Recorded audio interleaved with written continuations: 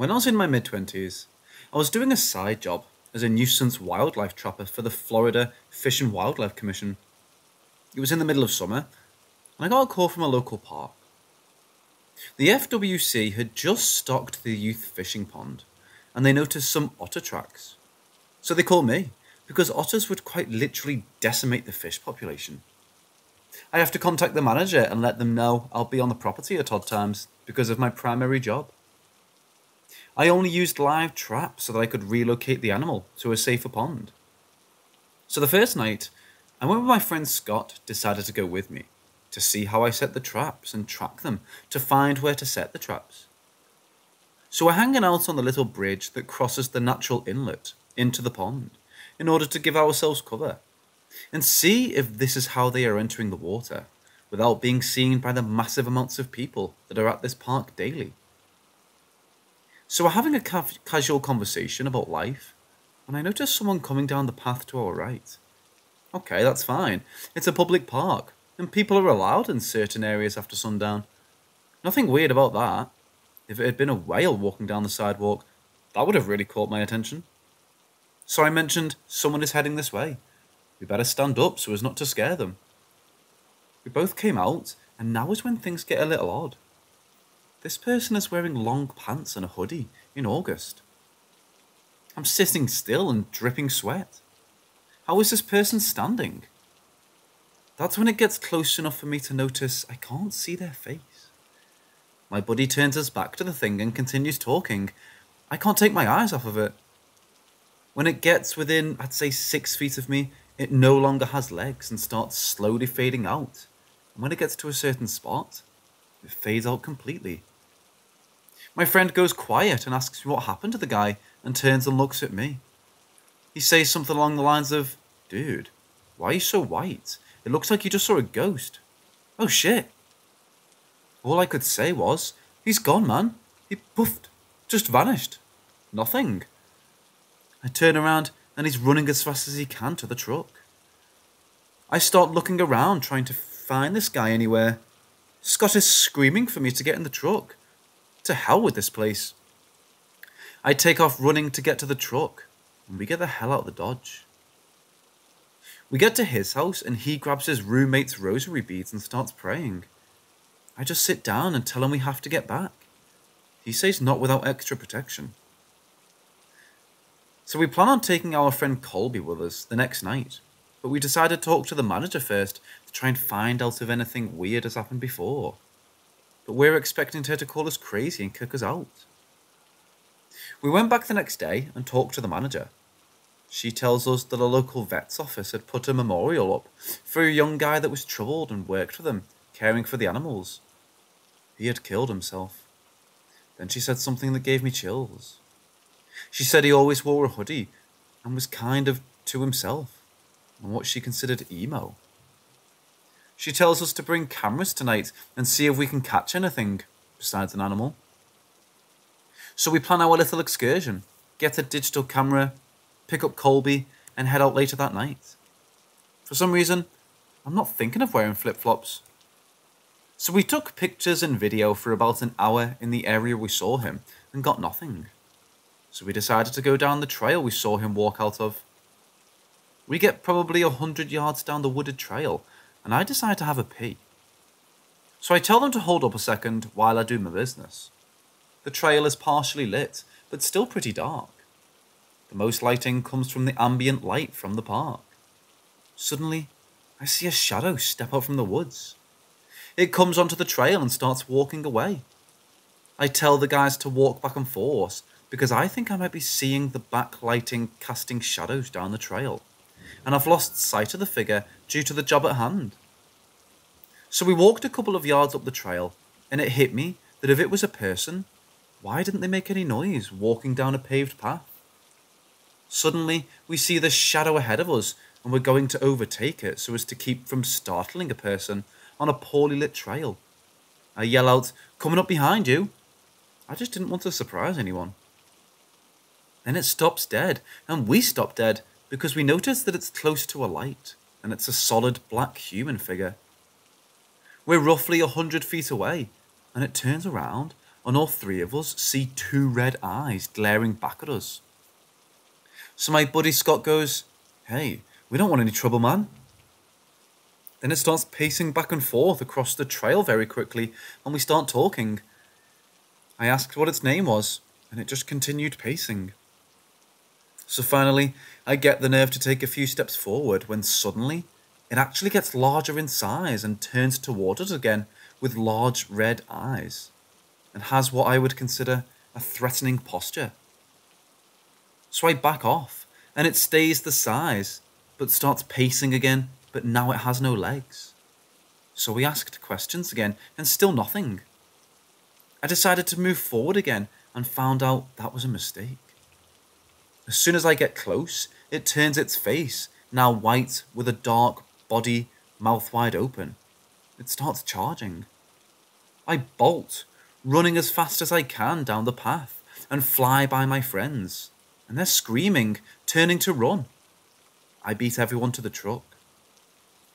I see them running down the trail because I have the truck lights on and shining the lights down the trail. This thing is hot on their trail and they're almost to the truck. I'm so scared I've lost gross motor skills completely and can't put the key in the ignition. This thing is starting to get close enough to touch them. Scott does this weird spin throw move, almost like he took a swing at it. Then it stops and turns around. Now it's glowing like pulsing light and going back down the trail. They hit the door, and I've now cranked the trunk and it stops and turns back. I'm not about to find out what the fuck it is. So I throw it in reverse and haul ass. As we're going down the road and start talking, I notice my feet are killing me. That's when I realised I actually had run out of my flip flops. I asked Scott where the camera is. He had thrown it at the thing right before it turned around, pulsing with light. I have no idea what it was, and to this day, I don't know if anyone ever found my flip flops or the camera. Nor do I really give a damn, because I won't go back.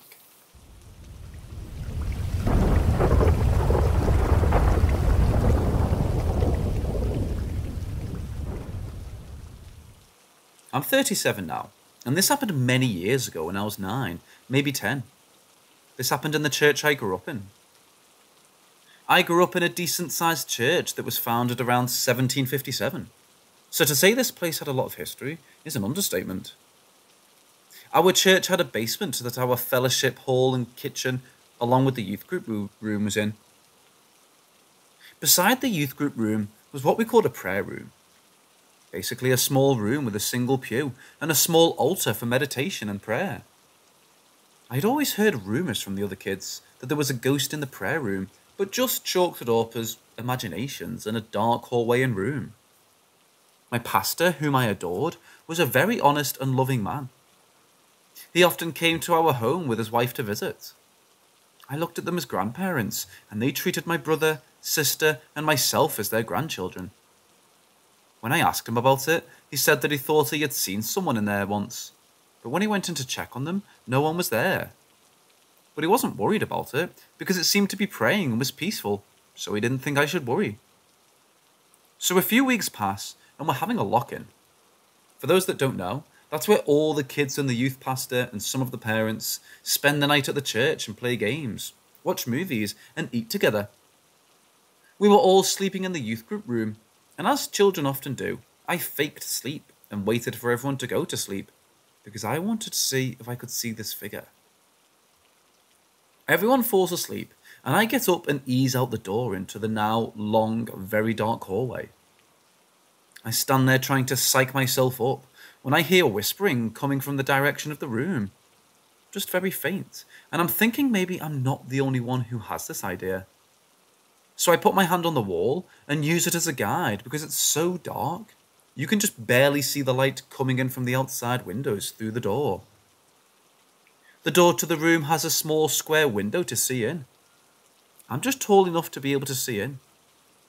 As I get closer, the whispering is just slightly louder, so I'm thinking maybe someone from the youth group has snuck in there with a friend and is trying to be quiet so as not to get into trouble. I reach out and push down on the handle to open it, but it's locked and won't budge. I'm wondering why they would lock themselves in when I move forward and look through the window.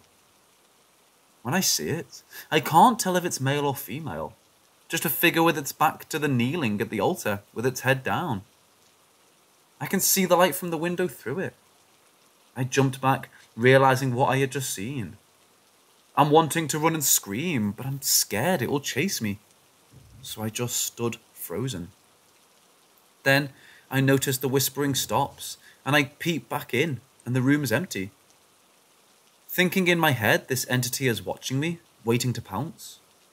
I run like hell back down the hallway, go back in the room, and spend the rest of the night hiding under the covers.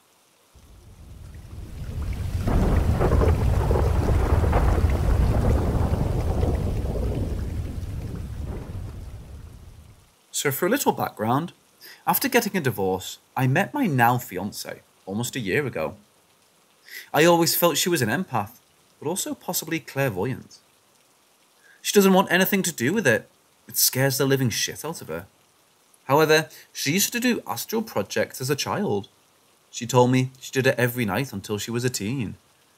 My aunt died before we met, so I never told her about her. We were very close, my aunt and I. My dad died a month before my uncle passed of prostate cancer. She would take me fishing all the time with her. Through that, we found solace and kept each other from being so depressed. I loved her and looked up to her. When she passed, I was unable to go to her funeral. I lived 10 hours away and couldn't get it off work. I felt incredibly guilty and upset due to that. My fiance and I had fallen asleep in our usual position, her head on my shoulder, arm across my leg over me. When she woke up and hugged me and woke me up saying, Babe, I need to ask you something. I, of course, told her to go ahead, and she goes, Did you have an aunt named Rachel that passed away? Then described her to a T. At this point, I was in shock and said that I did. She then told me, Well, she came to me in a dream, hugged me, and told me to tell you that she was okay and to stop worrying. She loves you dearly and that she understands and is okay. She's never seen a picture, nor have I ever told her about my great aunt. Needless to say, she held me as I cried for a good ten minutes. She was able to bring me closure for something she had no clue about.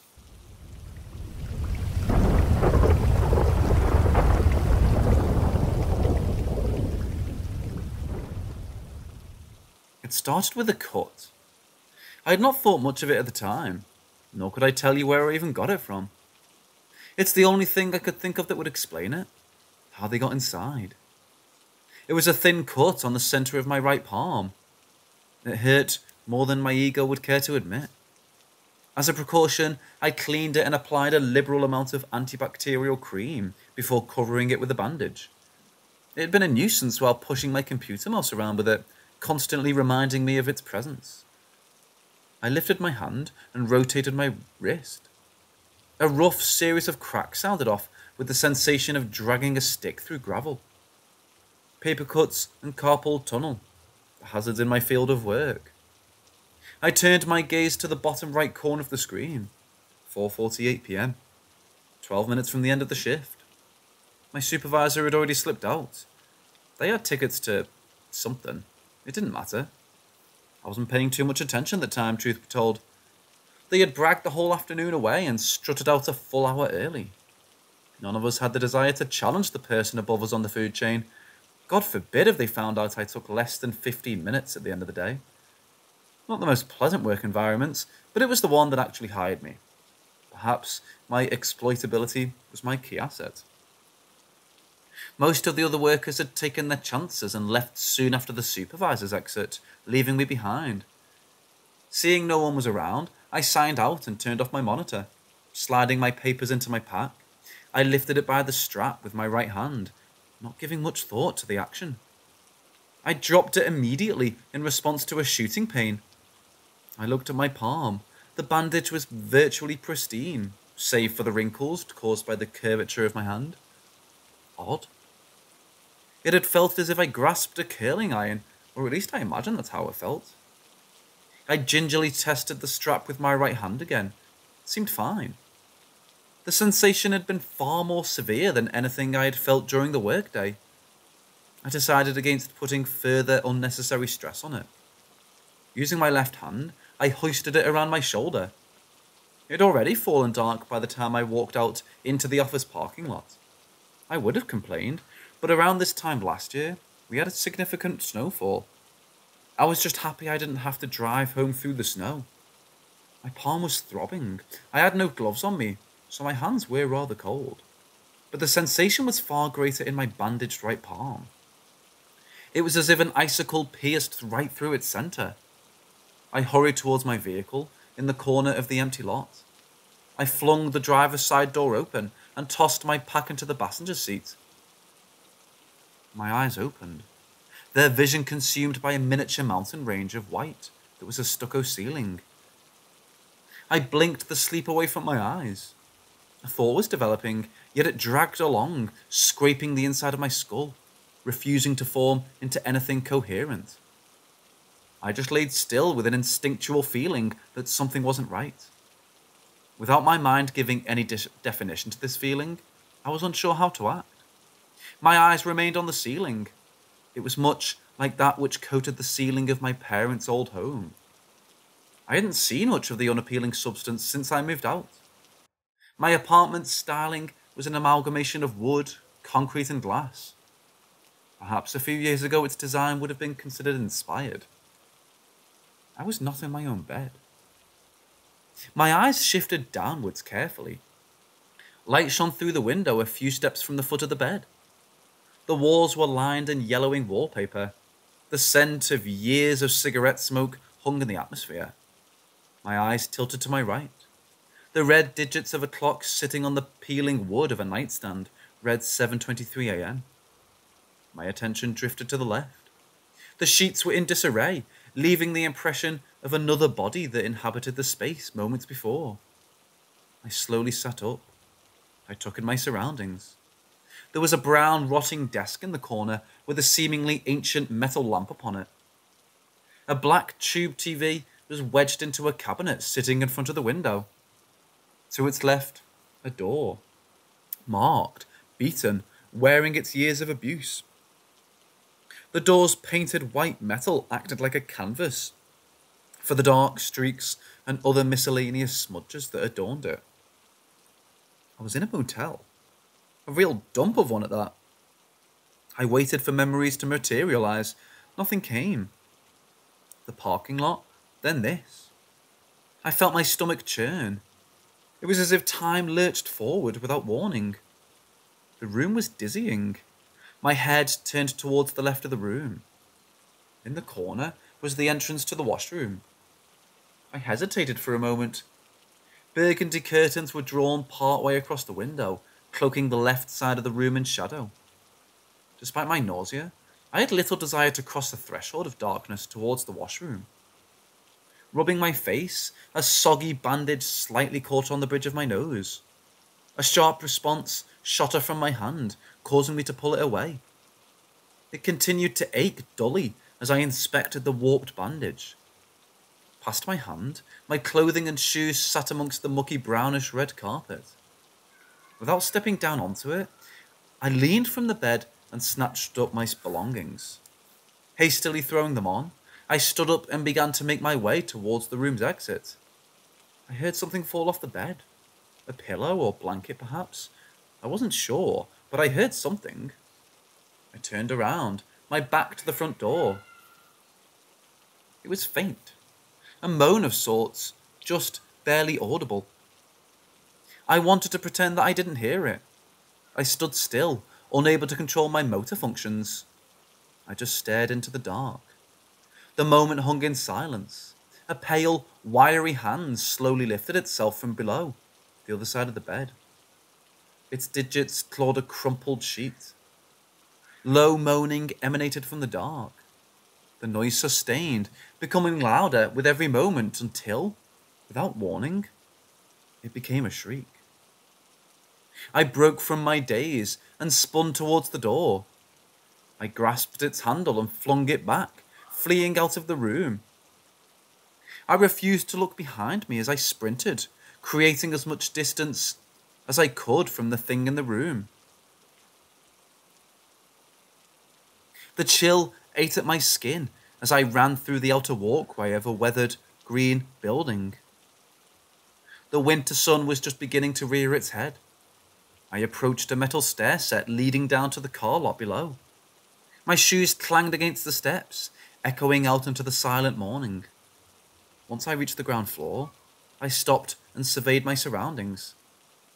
I had no idea where I was. To add to my concern, my vehicle could not be found amongst the handful that were sitting in the front of the two story relic of a building. I looked up towards the sign that sat atop a pole placed by the parking entrance. Motel was written in filthy fluorescent letters. The O was flickering.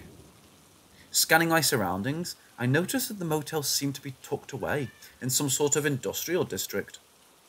I turned around to face the building I had just come out of. My breath plumbed in the brisk morning air. Looking past the second floor railing, I spotted the room that I had fled from. The door was still open. I couldn't make out much else beyond that. My legs began to move before my mind even seemed to command it. I had no direction, just the need to escape, to be somewhere, anywhere else than here. I was running towards the parking lot exit. In my mind's eye, the foul creature had crawled out onto the balcony, leaped down to the pavement, and was chasing me on all fours, frothing at the mouth. Sound had been muted. All I could hear was the beating of my heart, accompanied by rhythmic breathing. The air stung my throat as I ran straight into the street. I nearly caught my leg on a pothole as I ran helplessly without any direction. I could feel it gaining. My chest squeezed as I felt it right on top of me. I continued to run, heaving, nearly out of breath, like a racehorse about to collapse. Electricity danced around in my brain. The scenery began to darken. There was nothing, just a sound. Liquid gurgling, distant yet all too close. A violent tremor. Something was shaking at my feet. I could feel its vibrations, yet I couldn't see. The veil was slowly lifted. Concrete, columns dispersed across a barren grey landscape marked by yellow dividing lines. Pipes overlapped one another on the ceiling. Glaring light emanated from a strip of fluorescent bulbs hanging above. An arrow was painted in the middle of the path, followed by another which curved left, leading down a corridor that spiraled out of view. My entire body felt rigid. How was it possible that I arrived here unconsciously? I went to turn my neck and met a mild resistance. An invisible force tugged in the opposite direction as I turned to look to my right. It dissipated. A parking garage continued for some distance before me, with only a few cars scattered amongst the stalls. My body ached and my eyes burned. I blinked a few times, trying to shake away my fatigue.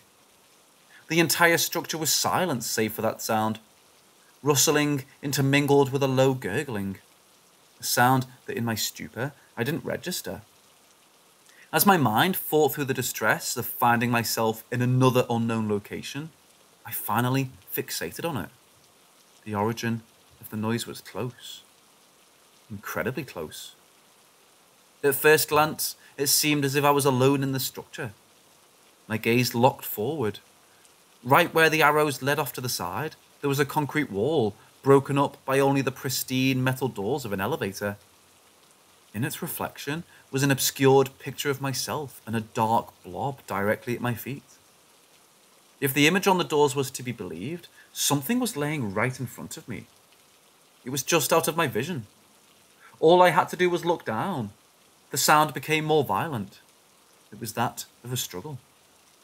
I felt something brush against my left leg. I tilted my head and looked down upon it. On the hard surface below me was a man. He wore a black raincoat and blue jeans. He had a thick brow and hollow cheeks.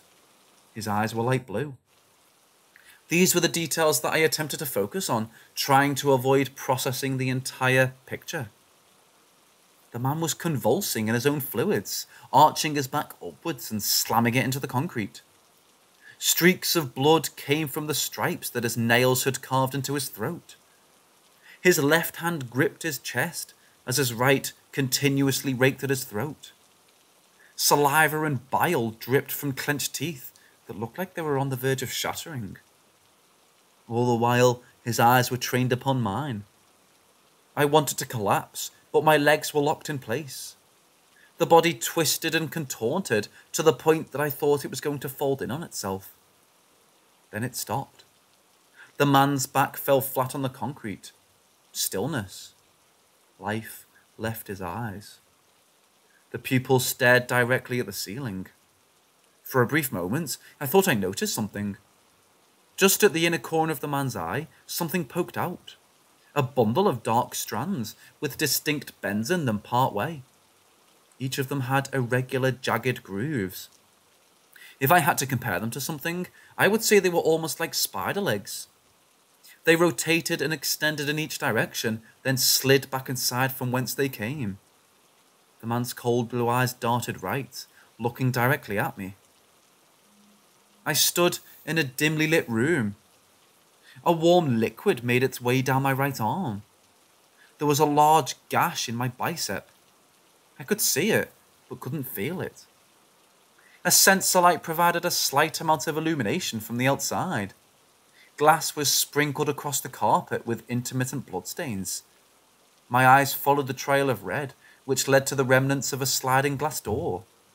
It had been shattered. Something had even caught the frame, knocking it off the tracks. Past a bookshelf, just behind a sofa, something stuck out. I cautiously moved towards it. My legs stopped at the edge of the sofa. I leaned over. Not much detail could be discerned in the faint light, but I saw enough. A grown man, in a grey t shirt and boxer shorts, lay on the floor face up, his feet sticking out just past the furniture. Behind me, a light wheeze glided through the air. I turned towards the noise. There had been a door behind me where I had come into consciousness. It was slightly ajar. A few glowing stickers that depicted smiling planets, stars, and the like were haphazardly thrown across it. At the centre of the doorway was a small silhouette of a body. It twitched.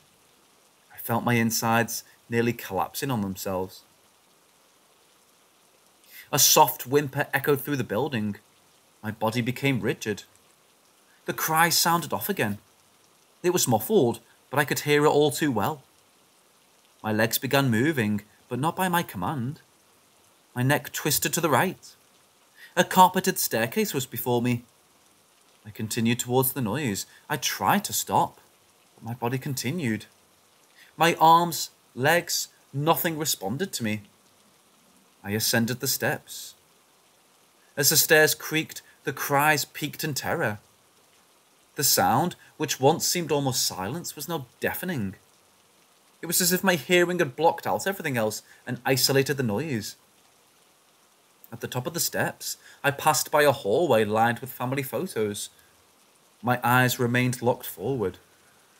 Stopping abruptly, I pivoted to the right. My vision was consumed by a door.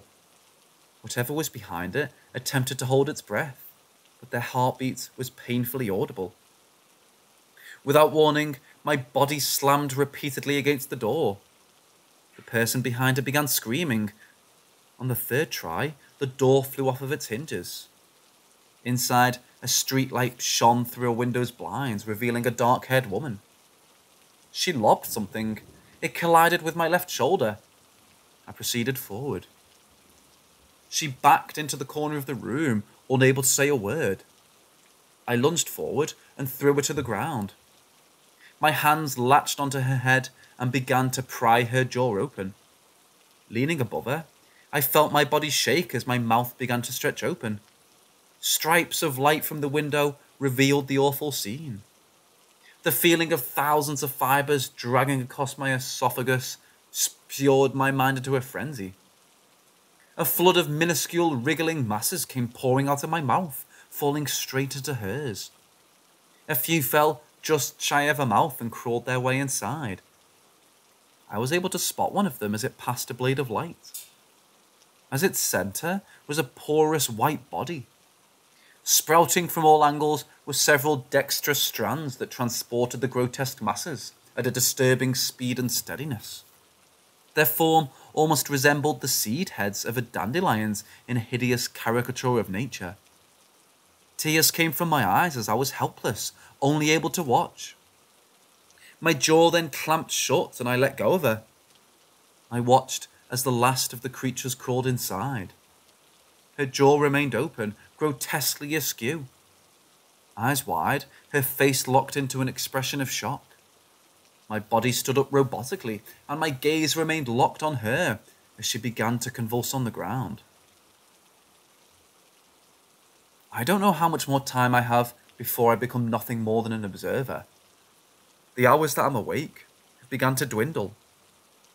I've lost track of time completely. I cannot say if it's been days, weeks, or months. They know everything I intend to do. There's not much that can be done. There are others out there now who have lost their bodies and souls. All I can do is write about it with the time I have left. They sense no threat in these actions, perhaps because I know it's futile. What are they? How did they get inside that cut? I'll never have answers to these questions. All I know is that they'll continue to spread.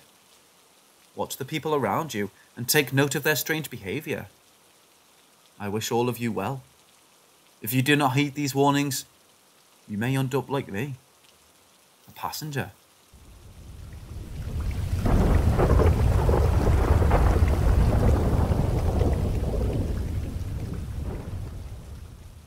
I moved away from my parents and into my first apartment.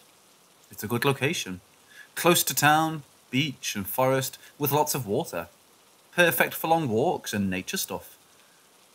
The forest bit has a lot of swamp area and direct access to flowing water on one side. It's about two and a half kilometres long by 500 metres wide. It's not the biggest forest, but it's the creepiest. I have walked many times in the past through forests at night time, and I found it quite cosy, and the darkness is very good for my light sensitive eyes. I haven't been scared in the past forests, as far as I can remember. I remember the first time walking through this tiny forest, and I knew instantly that there was something not quite right. This was at daytime, though. You know the expression, the forests have eyes? In this case, it's quite literal. You feel watched as soon as you enter and until you leave on the other side. The forest is so thin at times, you can see the water on the other side and know that you're alone. Yet, it feels like a thousand eyes are following your every move. I thought that it was just forest paranoia. But every time I come here, and it doesn't matter what time of the year, it's the same. Even dogs I meet on my way with their owners seem upset all the time. I was walking through it one evening to see if I could find the peace which I usually could in other forests at night time, but that was a hard no. Not only did the eyes of the forest feel more appealing, but there was a feeling of dread there, which wasn't there at daytime at all.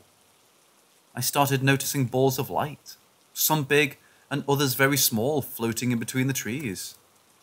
First, I thought that it was some sort of insect or maybe boats on the water, but after checking the water, there never were any boats.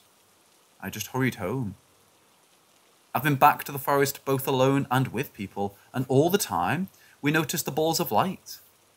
But they're on a hill where the path is at the top, and the hill goes about 10 to 12 metres down, and then meets the water.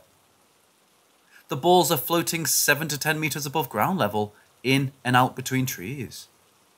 I don't like entering the forest anymore, and I'll do my very best to avoid it. It's evil. The forest ends up to my parents' area from my prior memory. And I'm not sure about its backstory, since most of it is mouth to mouth. But I'll look into it as soon as I can.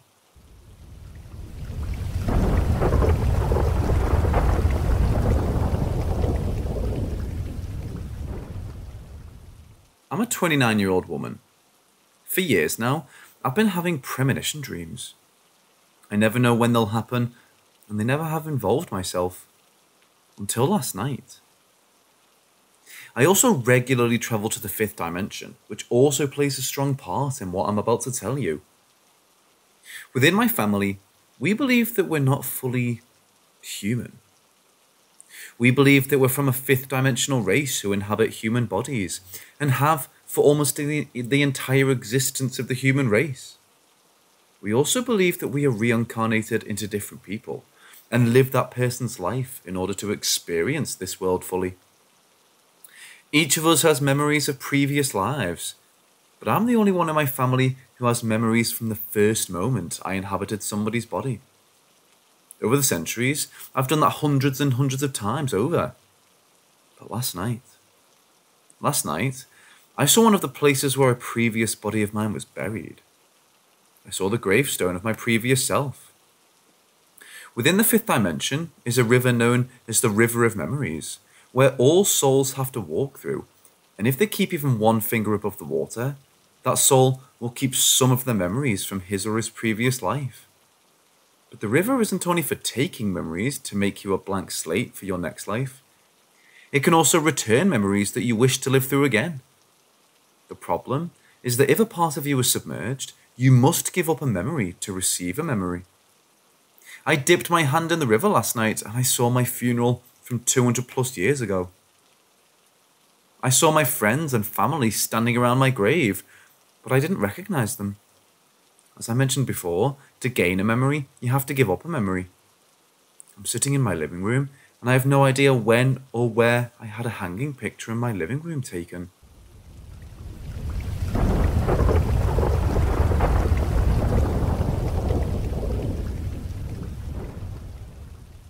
When I was 17, I was dating a girl who I'll just refer to as Kate. Kate is a friend that's super into the paranormal. One day, the three of us were hanging out with a few other people when a friend, who I'll call Sarah, had the bright idea of holding a seance. We all agreed to do it, thinking fuck all would happen. We began the seance, and surprisingly enough, after a couple of attempts, we were successful we decided it was time to call it quits and moved on to play Uno. We're maybe two rounds in, and the living room temperature dropped. It wasn't a crazy difference, but it was noticeable enough for us to ask Sarah to turn off her AC. Sarah got up, and as she was walking towards the thermostat, a picture that was hanging on the wall beside it fell. We all heard it fall, but didn't think much of it. After she put it back up, the picture that was hanging on top of it fell then two more, and then the last picture on the wall fell. She turned to look at us and had a sarcastic, scared look on her face. Her sarcasm quickly turned to genuine concern when a TV, which was mounted on the wall, fell. It was after that moment that the lights began to flicker in and out softly. I stood up, ready to bail, when the lights completely went out. The coffee table we were all sitting around began to shake causing us to back the fuck away. We all ran out to the patio door and into the backyard to calm down. After 10 minutes, me and the only other guy there decided to be heroes and go inside to see what would happen. We walked throughout the house, seeing if we would trigger anything. Thankfully, nothing happened. We invited the girls back in and tried to think of a believable reason for her TV bro broken. To the best of my knowledge, Nothing else has happened in a house again.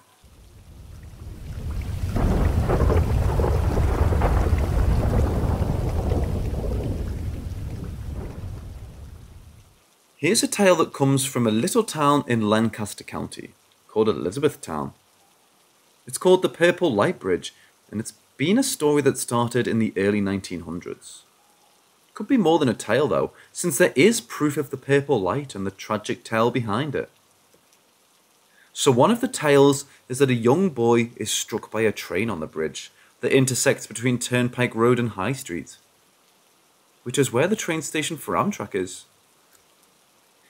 It supposedly happened in 1934, and some people claim there's proof of the accident, but I personally am looking into it. I emailed the Historical Society.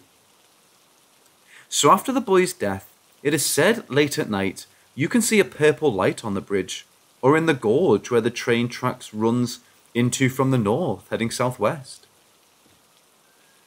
People like to argue you can see the purple lights at another location, and it's been there and not by the train station. They claim that you can see the lights under the bridge that is above the train tracks on Bosler Road. Bosler Road for the purple light had another tale. A mother brought her son to the bridge, and under that bridge she hung her son by herself. Locals say that the purple light you see is the mother and son. Some people have claimed the purple light comes from the moonlight reflecting off the rocks below the ridge. Yet even more people claim that it's actually the bridge a couple of miles away in Newville, near Elizabethtown. I have not yet tried to investigate, but will update the findings on this page.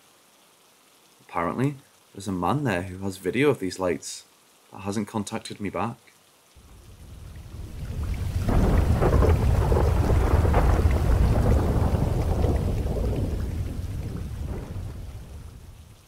Now we come to what has been said to me to be on par with most haunted places in Strasburg, with the Gondor Mansion. Funny thing about this story is that it was my first adventure in high school. Me, along with my brother, our friends Ethan and Human checked it out. This was before it was renovated and turned into a house, which there are now local residents that live inside, and turned it into a very beautiful property. At the time, we went ghost hunting and even went into the abandoned house at the time. The house had a horse stable, a pond, and even once had a clubhouse that a local Boy Scout troop made, as I was told. We didn't find any ghosts until we left and shined a light into the basement and saw a figure with a red material that freaked us out, which we thought may have been a curtain. But when we thought about it, there weren't any curtains we noticed when we were there, so that freaked us out. Another tale is from a friend who actually lives by there. He one time went there to camp with his uncle. They both set up a fire, waited till sundown. He told me that when sleeping, he heard something outside and they checked it out and found nothing. They dismissed it as just a squirrel or any animal that would be running around at night. Upon getting in the tent, though, he let out a scream because he felt someone grab his shoulder behind him while his uncle was in front of him. They both left and never went there at night again. So you're probably thinking, why is this place called Hell's Funnel and how did it get its name? It happened with only one day in the early 20th century. While working, when the property used to be a sawmill, there was an accident where a man slipped and the saw blades dismembered either his hand or whole arm. The property is on the outskirts of Strasburg, so getting to a hospital wasn't much of an option. So the man instead rushed home and sat on the front porch to see us one last time. His wife instead only saw her husband suffer and eventually bleed out and die. His wife, going into a depressed state, decided then to take her own life, to be her husband. The property is said to be haunted by the both of them. The pond by the house is said to have spirits seen over the top of the water. There are also stories of a woman's spirit walking around the area of the pond, or on top of the surface too. Some people claim to have been scratched by something while approaching the pond or grabbed. My friends, who I mentioned before, camped by that pond when he was grabbed. So it was more substance when I hear people claim that. Yet that's only one of the stories I've heard. There's another with a way darker turn. This one starts just like the first story of the man cutting off his hand or arm with a saw blade while cutting a log. It was his good hand that he used to work with too. So, not being able to work his job due to his disability, the sawmill fired him. Eventually, not being able to work, this angered the man. So, with his other hand, he picked up an axe and headed back to the sawmill. Seeking revenge, he hacked up all of the workers at the time, then took his own life. Story has it that all those souls became trapped there, forming a funnel right to hell. That's why you see spirits there, because they're damned souls that escaped hell, and one's on their way into hell. Or perhaps the souls the man killed lingering in the place, trapped where they were killed. If you look at the trees, there as well above the road, they curve inward.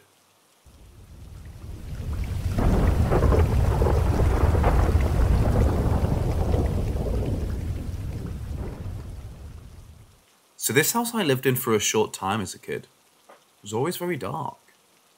All the shadows seemed to lean on the house. My parents' bedroom didn't have a window either. One night, I was sleeping in the basement because that was where my room was. And from a very deep sleep, suddenly my eyes popped open.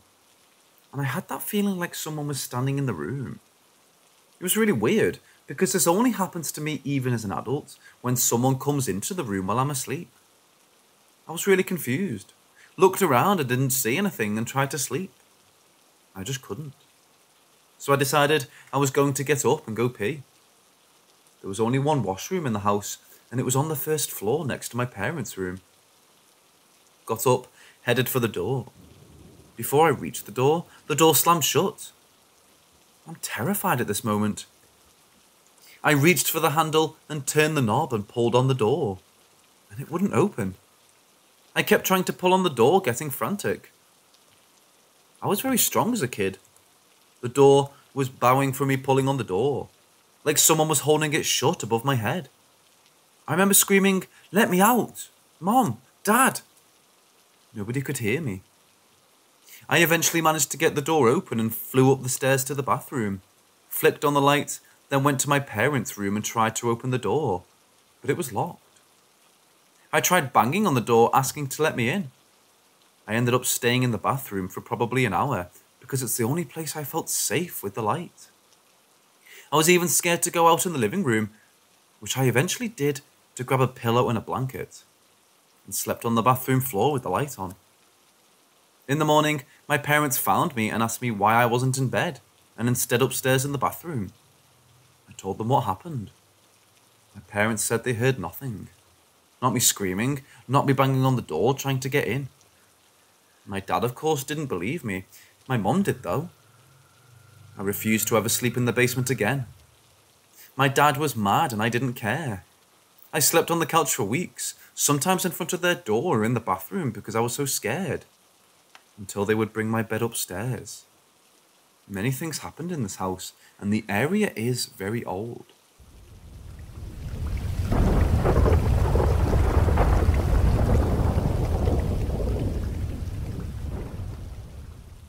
I lived in this house for a very short time while I was in kindergarten. This is an old town, one of the first in my province. This will be a telling of three different experiences. Around Christmas time, the weather was fair. It wasn't windy or too cold. I was watching a TV show. I do believe it was Letters to Santa or something. It was on YTV. I was sitting in front of the TV watching my show with the remote beside me, and the TV would flip to the news a little confused, I would swap it back with the remote. And after a couple of minutes, it would swap to the news again. I was getting a little annoyed, so I called out to my mum, who was in the kitchen, and asked why she kept swapping the channel, and if she wanted me to watch something else. She looked right at me and said, The remote is beside you. I'm not touching the TV, which it was. Right after I asked her this, the TV started to flip through a bunch of channels. Then our old touch lamp started to act up. Like someone kept touching it and turning it all the way up, and off all the way up, and off over and over. And then it kept swapping through all the channels. A little freaked out, I yelled, Stop! Switch it back to my show and stop messing with the lamp. Immediately it stopped and flipped it back to my channel. Nothing like this happened to me again. My mum watched the whole thing, and I remember turning to her, shrugging in my shoulders. My mum also told me she had been experiencing the light being turned off in the kitchen. And it couldn't have just been the power because the light switch would be off. And this would happen to her all the time while she was just in the kitchen making food. Figure over my bed. This was shortly after I'd asked my parents to move my bed upstairs. I was laying in bed with the street lights coming in the window, and I woke up to a really cold breeze in my bed. Not thinking much, I looked around and saw nothing, and suddenly my curtains, which were the gauzy white see-through ones, flew up over my bed. Like some strong breeze came from under my bed and threw them over the top of me. It was weird, but weirder they fell over the figure of a woman standing by my bed. It scared me. I sat upright and pulled the curtain out of the way so I could see better. And there was no one there. I was terrified but I just threw my blankets over my head and went to sleep. and just said, Go away, go away. Closed my eyes real tight. Cowbone in the muck. More creepy, less supernatural. So as a kid, I was all about getting dirty and playing in the mud. I would find mud pits, get as dirty as humanly possible, and then go back home, change and wash and come back. I had gone out into this mud pit that was right across the street from my house.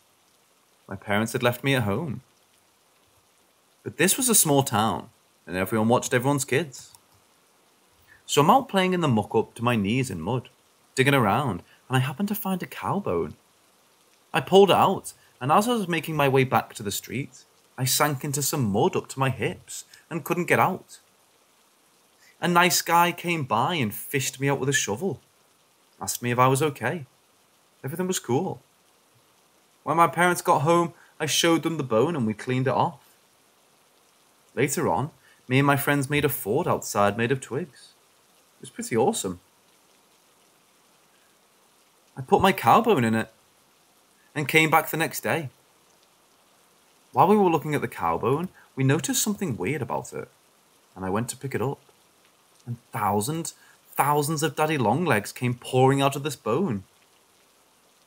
We promptly, then shortly after that, wasps took it over, so it had to be torn down. A couple of weeks go by, and I'm laying on the floor at my house, sleeping. My aunt's sitting beside me, and I feel tickling. I giggle, and I say to my aunt, Stop. She says, Honey, I'm not tickling you. So I go back to sleeping. More tickling. I say, Auntie, please stop. I'm trying to sleep. And she says, I'm not tickling you. I pull the blanket I'm under, and I'm covered in daddy longlegs. I scream, hop up, start crying, and brush them off and run to my mum. My mum says it's okay, they're harmless, they won't follow you. Well, they followed me across the floor to my mum, and even my mum was freaked out. I hated that house so much for all the creepy stuff that happened.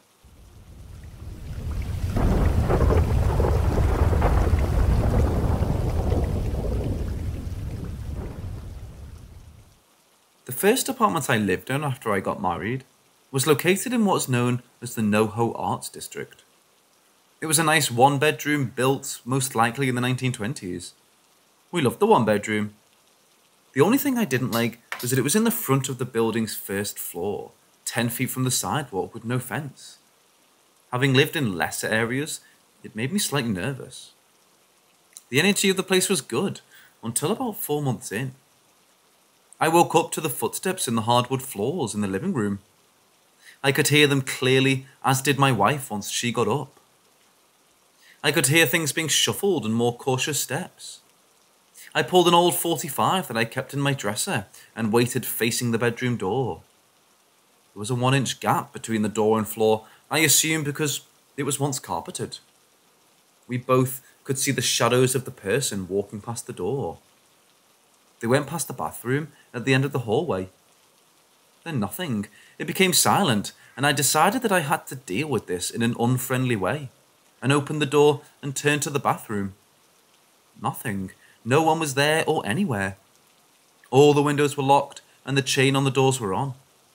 I had a hard time sleeping that night. A few months later, it happened again, but that time, as I touched the door handle, I could hear the front door open and then slam closed. The chain was hitting the door when it slammed. When I checked everything, it was the same, all locked, but the front door chain was also locked, and I'd heard it bouncing on the door It never happened again. And we moved to the end of the lease, despite what I thought initially was paranormal or a ghost.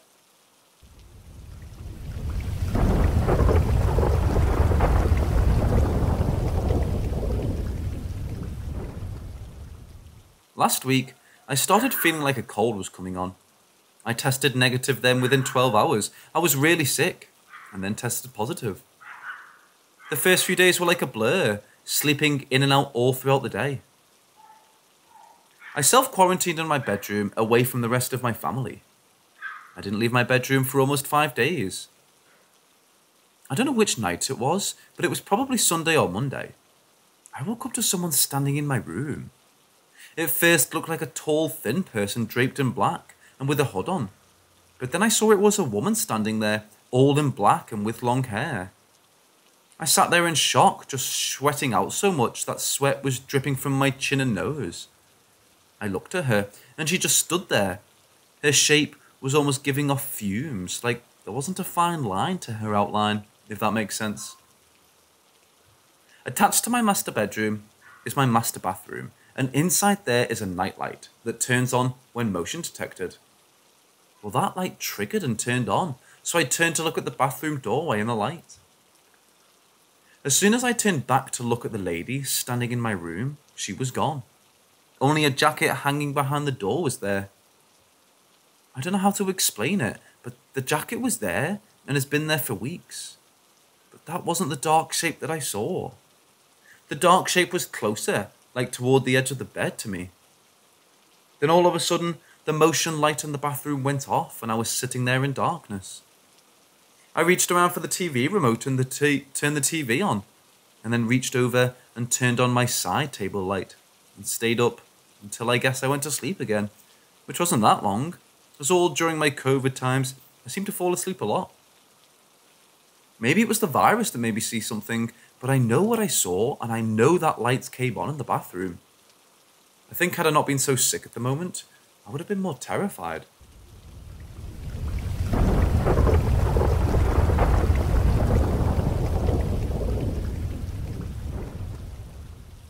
To say the least, things got quiet for a while, and we became hopeful that all the steps we took drove the ghost off.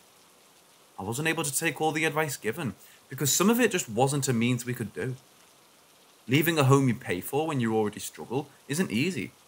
Cash is tight, and paying for elsewhere isn't possible. So while doing my own research, I was able to get the house cleansed. Afterwards, the continued ignorance of its presence went on strongly. Standing our ground, over some time, things happened less and less.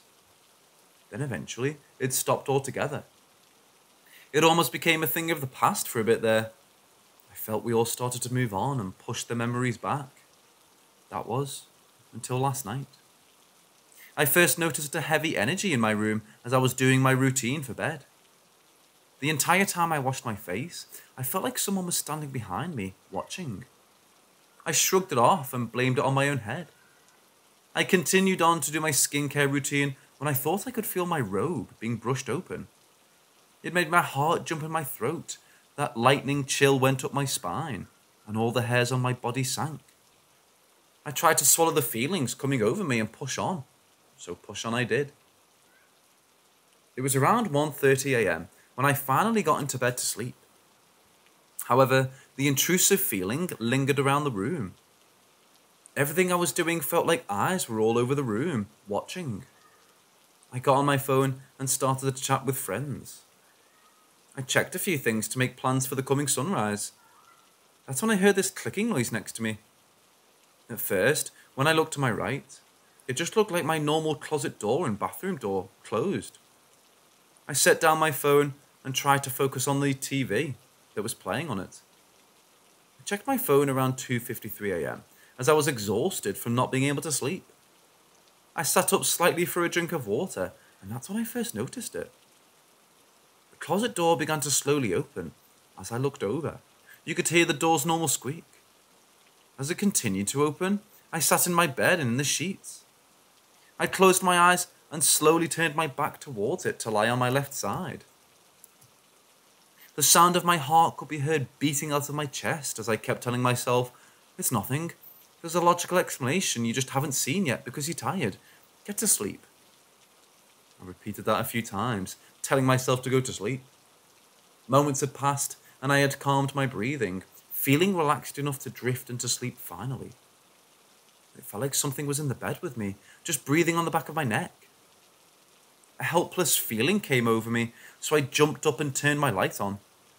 Walked to the closet door, turned its lights on, and opened it. I walked inside and this feeling, it felt like overwhelming loneliness just surrounding me. If I hadn't walked out of there and closed the door, I would have sunk into the door and cried right then and there. Getting back into my bed felt different than it did just hours ago. I did feel fear or anxiety anymore. I turned on my right side and faced the closet until I fell asleep. As I woke up, everything felt normal. In fact, I actually feel good today, like I'm full of energy and I shouldn't have on only roughly four hours of sleep. I guess I'll see how it goes from here.